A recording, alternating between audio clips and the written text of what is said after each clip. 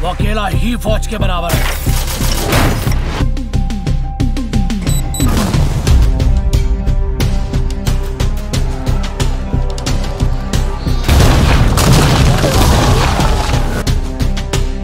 Specialist चाहिए।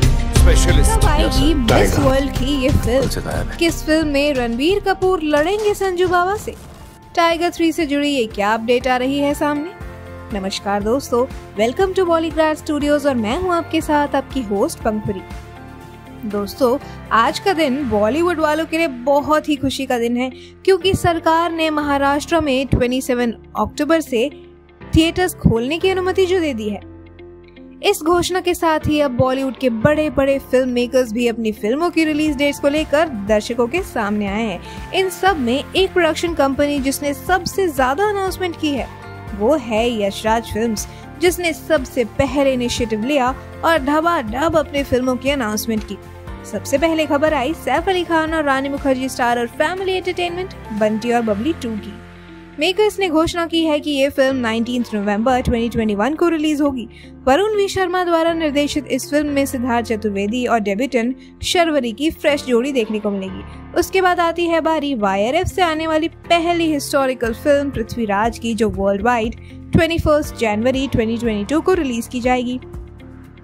Film में अक्षय कुमार, पृथ्वीराज चौहान के किरदार में होंगे। ये फ़िल्म उनकी असली कहानी पर आधारित होगी, जिसमें उनकी बहादुरी और ताकत को दिखाया जाएगा।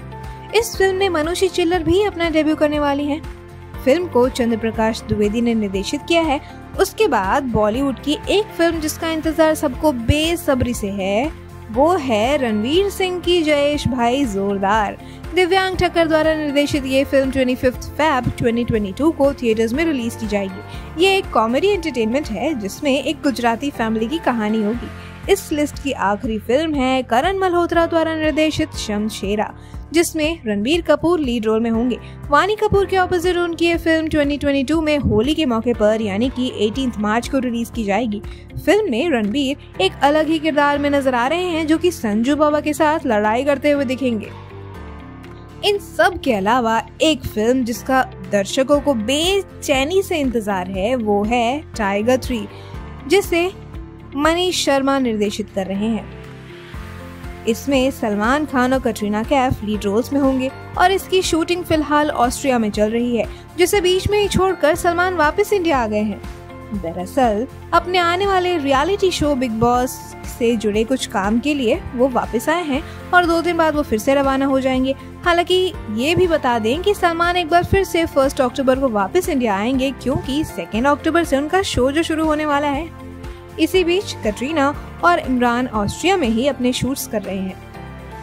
तो दोस्तों, आज के लिए इस वीडियो में बस इतना ही। ऐसी ही फिल्मी दुनिया से जुड़ी खबरों के लिए आप जुड़ जाइए हमारे साथ। सब्सक्राइब कीजिए बॉलीग्राड स्टूडियोज को। आपको ये वीडियो कैसी लगी हमें कमेंट सेक्शन में बताइए। और साथ ही इस वीडियो को लाइक और शेयर करना भी बिल्कुल मत भूलिएगा। आज की स्क्रिप्ट लिखी है रिचा गर्ग ने।